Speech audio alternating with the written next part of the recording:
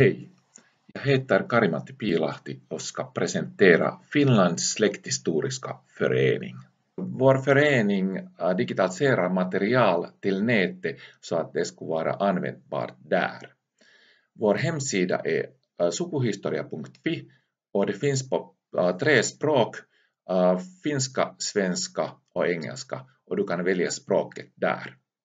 Och på våra så kallade allmänna sidor, alla kan forska eh, kyrkoböcker som är äldre än 125 år och det finns bakom länken eh, kyrkoböcker på vår hemsida.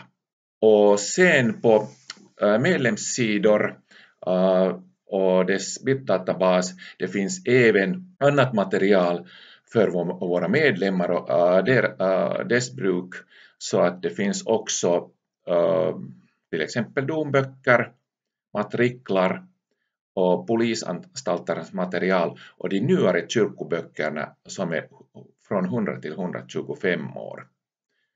Och sekretessgränsen i Finland är 100 år med undantag av dödslängder där det är 50 år.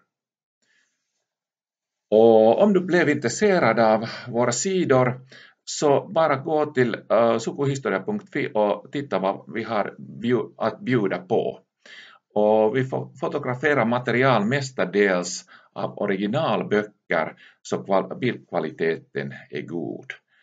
Och sen om du blev intresserad av att bli medlem så det finns också anmälningsblanketten på vår sida.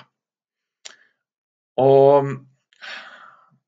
hjärtligt välkommen att äh, besöka vår sida och, och äh, forska dina finska rötter.